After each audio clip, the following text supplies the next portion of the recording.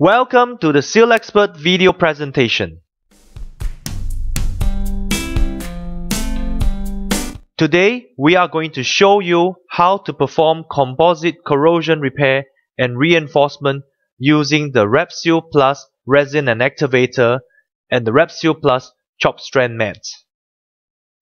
This repair method is typically used for composite repair of large flat surfaces.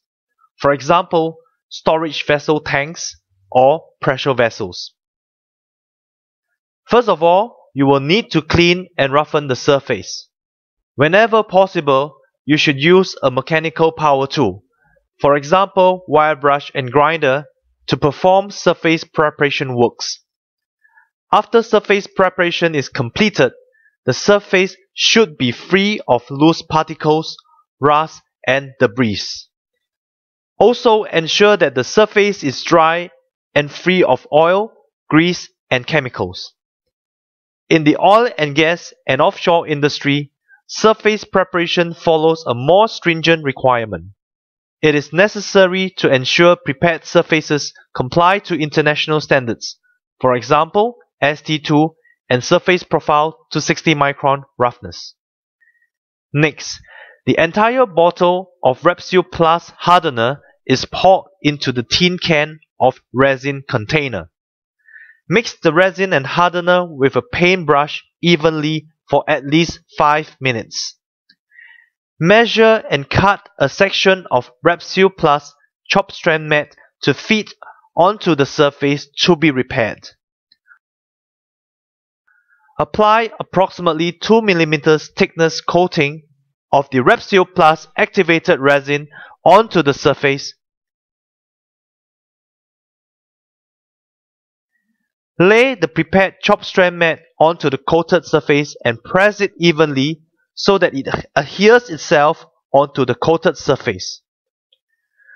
Use the paintbrush to apply a generous coat of Wrap Seal Plus activated resin. Brush over the surface to ensure the chop strand mat is fully wetted, while ensuring the coating is applied evenly. Poke the paintbrush into the coated surface to remove any air pockets trapped between the chop strand mat, so that the integrity of composite repair matrix is not weakened and compromised.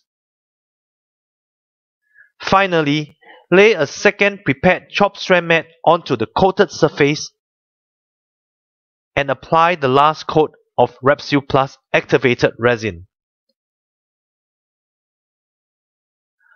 Allow the coated surface to cure completely. It will take approximately 2 hours at an ambient temperature of 30 degrees Celsius to obtain a tack-free cure.